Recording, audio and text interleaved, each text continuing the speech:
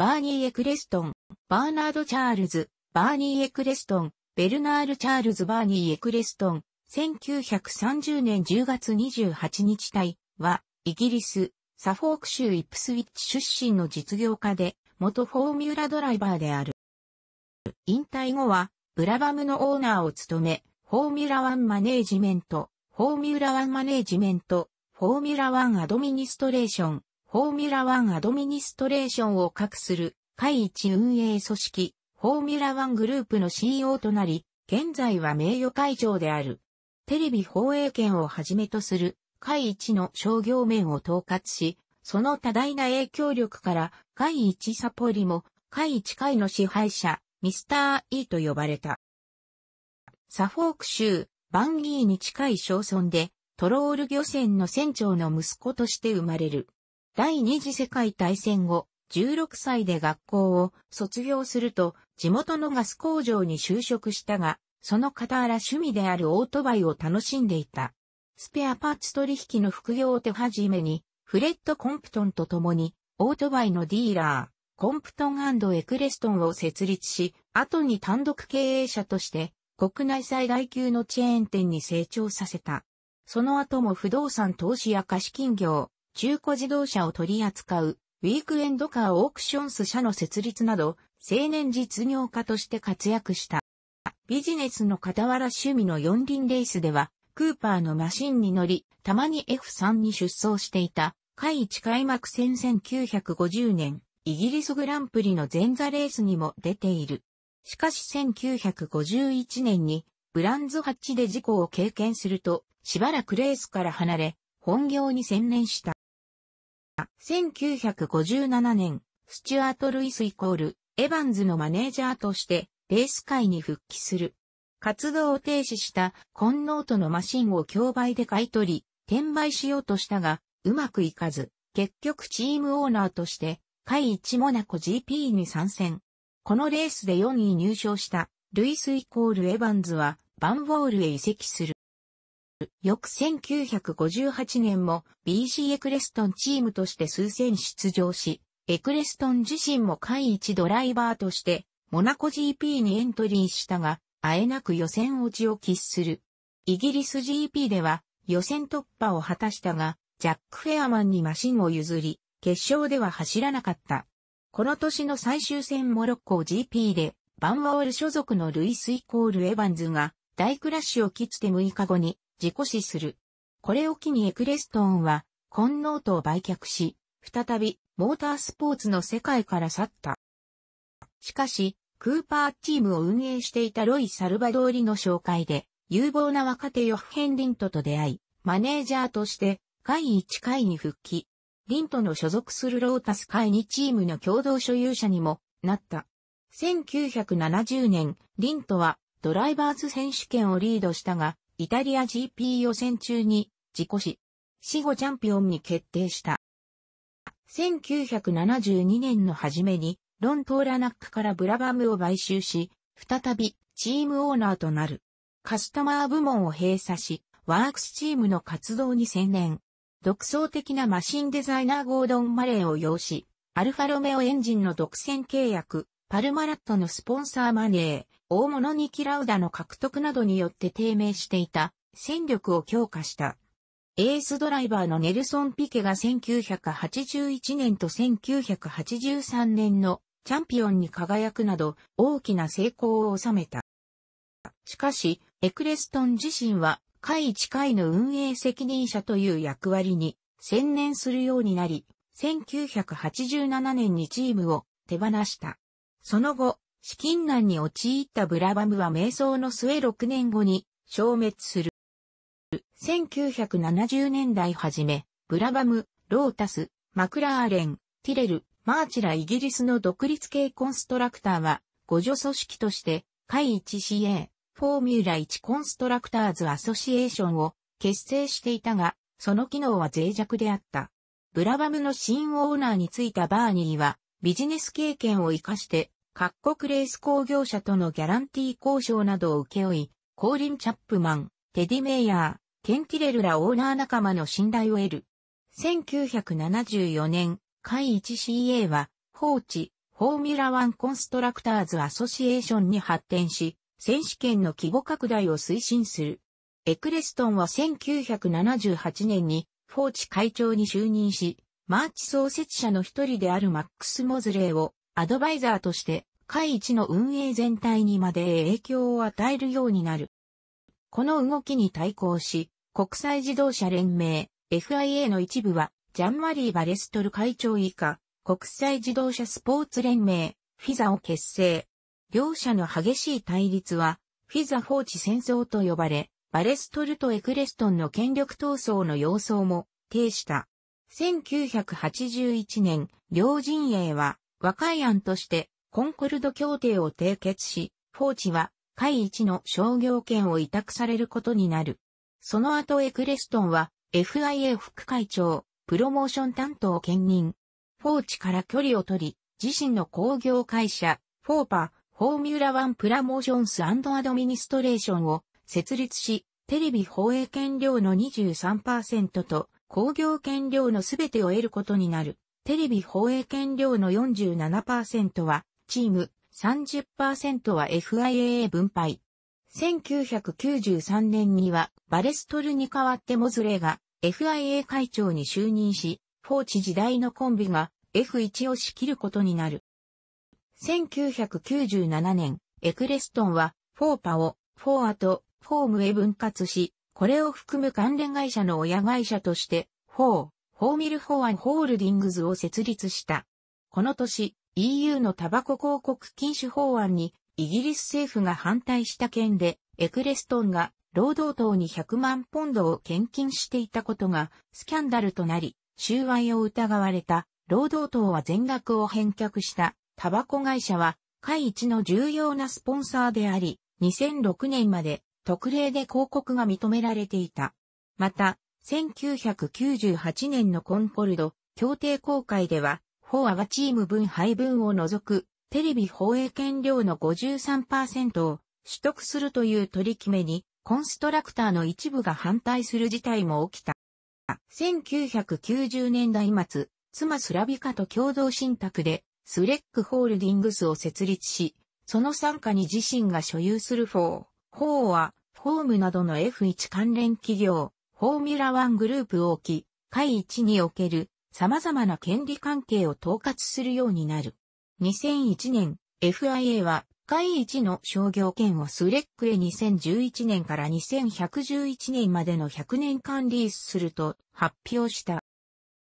エクレストンは SLEC株のうち25%を手元に残し、残りを投資銀行に売却。多大な利益を得ながら CEO として変わらぬ権力を保った。しかし、株式の過半数が F1 外部に流れる状況が運営の安定を損ねるとして自動車メーカー連合がグップマを結成して、新シリーズ立ち上げを唱える騒ぎとなった。2005年、バーニーは CVC キャピタルパートナーズと共同でアルファプレマを設立。2006年、スレック株の残り75%を回収し、アルファプレマを親会社にフォーミュラワングループを再構築した。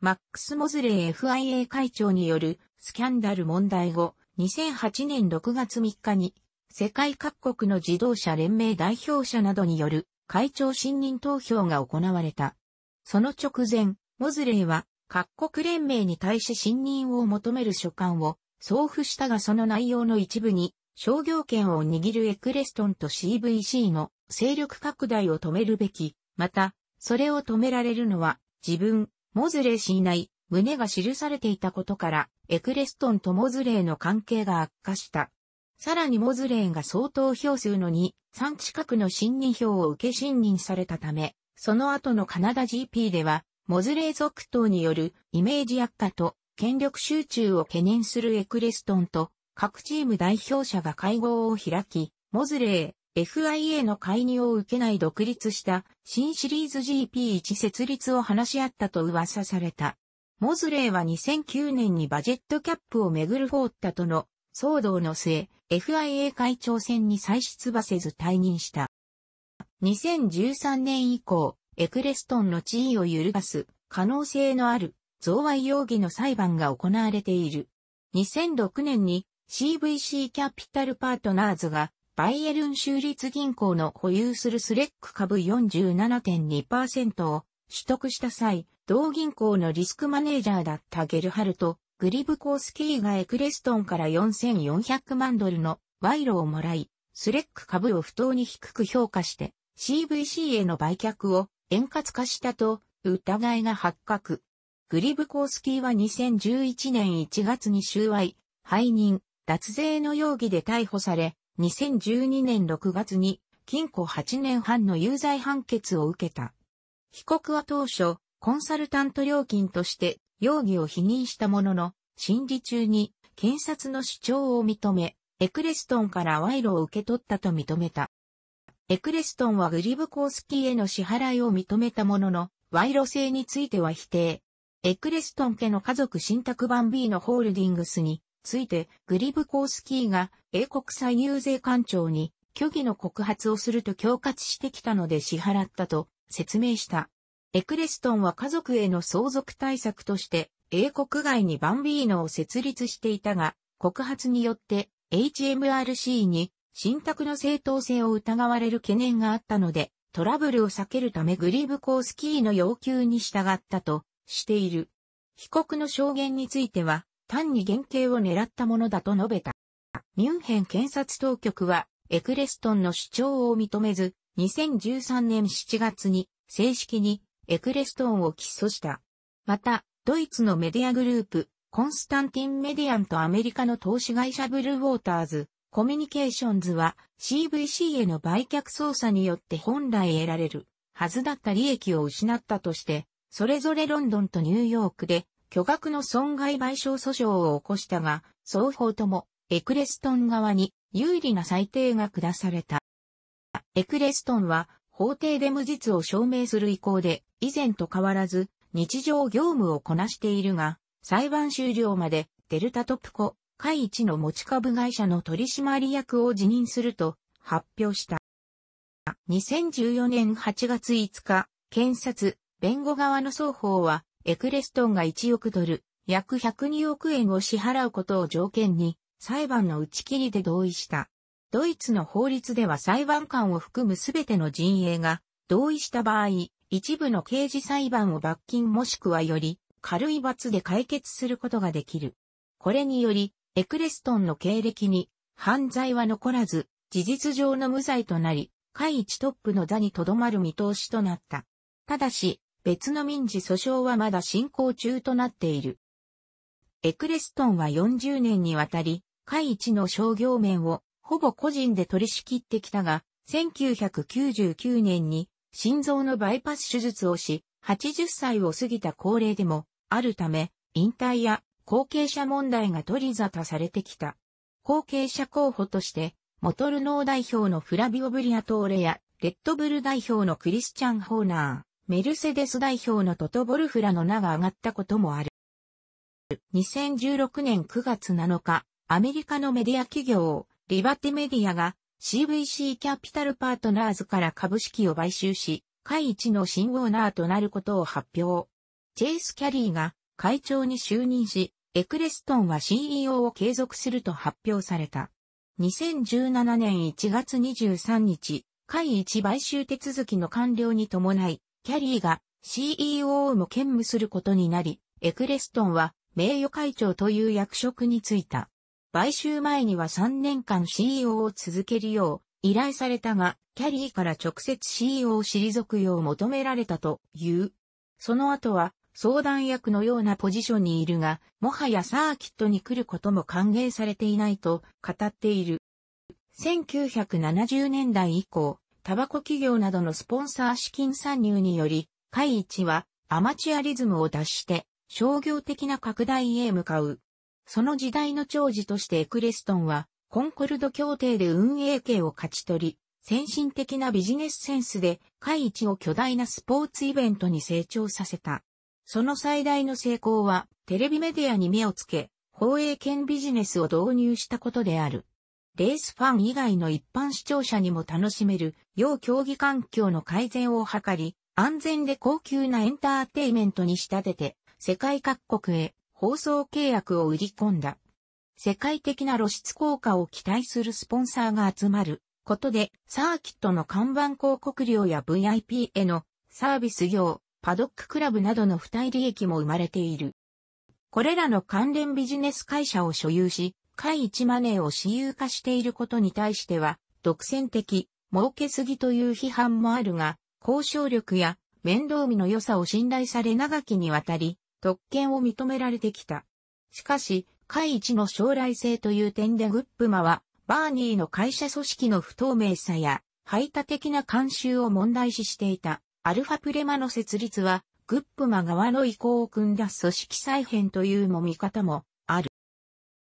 また、その拡大路線でコストが跳ね上がり、名門チームや伝統あるサーキットが財政難に追い込まれた点にも伝統派のファンから批判が寄せられている。会一の開催地選択権は事実ウェイクレストンが握っており、施設改修要求や工業権料の高騰で、サーキット側の負担は厳しくなっている。エクレストン自身、CEO 退任後に開催費請求が高すぎたことを認め、オーナー企業、CVC キャピタルパートナーズの収益を上げるためだったと釈明した。2000年代以降のスポーツビジネスにおいて、インターネットの活用範囲が拡大しているが、エクレストーンは、会一レース中継の映像配信や、ソーシャルメディアを通じた情報発信について保守的である。1996年には、衛星有料放送に目をつけ、資材を投じて、マルチチャンネルのフォーチ TV、通称、バーニー TV を立ち上げたが成功しなかった。交渉時においては、複数の候補者同士を競い合わせて主導権を握る手腕に長けている。1986年に日本 GP 鈴鹿開催を発表した時には、フジテレビに対してテレビ放映権料の要求額を一気に引き上げ、交渉の場では他局の代理人が白紙委任状を持って隣の部屋で待っている。今ここでサインしなければ隣に行くと言って即断を迫ったという。また、下一チームとの力関係では分割統治戦略を駆使しトップチームに特別待遇を与えるなどしてチーム側の団結力を削いできた。2005年に GPWC からフェラーリが電撃脱退した件について、後にフェラーリを8000万ドルの特別分配金で買収したと暴露した。ただし、交渉がまとまれば後腐れなく、必ず約束を守るボスとして信頼を築いてきた。会一の新 CEO であるチェイス・キャリーは、エクレストンの分割統治スタイルからの脱却を唱えているが、エクレストンは、会一では民主主義は機能しないと批判している。会一に関する商業権を統括することにより、自らも莫大な財産を築き上げていることで知られる。2003年の A サンデータイムズ氏の長者番付では、推定資産24億ポンドで、英国で3位にランクされいた。また2004年には23億4、300万ポンドに減少したとはいえ、なお8位にランクされていた。しかし後述する離婚問題で多額の慰謝料を支払った関係や、2008年以降の世界的な景気低迷による資産価値下落などの影響で、2009年には推定資産が14億6、600万ポンドに減少し24位に後退している。2007年、ルノー会一代表、フラビオ・ブリアトーレと共同で、イングランドフットボール2部リーグに所属する、クイーンズパークレンジャーズ FC を買収。その後、ブリアトーレの保有株を取得し、最大株主となったが、2011年にエアアジア経営者のトニー・フェルナンデスへ売却した。最初の妻エビーとの間に娘、デボラを設けるが離婚。1984年にクロアチア人スラビカ・エクレストンと再婚し、スレックの社名はその名前、スロブカ・エッケルストンから取った。元ファッションモデルの妻は28歳年下で、夫よりも身長が30センチメートル高い。スラビカとの間に生まれた長女タマラ、1984年生、と、次女ペトラ、1988年生は、イギリス版、ヒルトン姉妹と称されるセレブリティとして、たびたびメディアに登場している。テレビ司会者、モデルのタマラは、プレ星でヌードを披露した。スラビカは2008年11月に離婚の申し立てを行い、バーニーの持つ膨大な資産との関係で、その慰謝料が極めて高額になるのではないかと注目を集めたが、結局2009年3月に離婚が成立。慰謝料の金額は明らかにされていないが、離婚直後に発表された A タイムズ氏の長者番付で、スラビカは推定資産7億3、400万ポンドで58位に入った。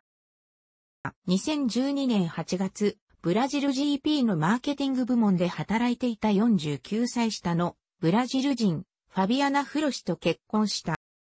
歯に物を着せぬ発言をたびたび繰り返している。楽しくご覧になりましたら、購読と良いです。クリックしてください。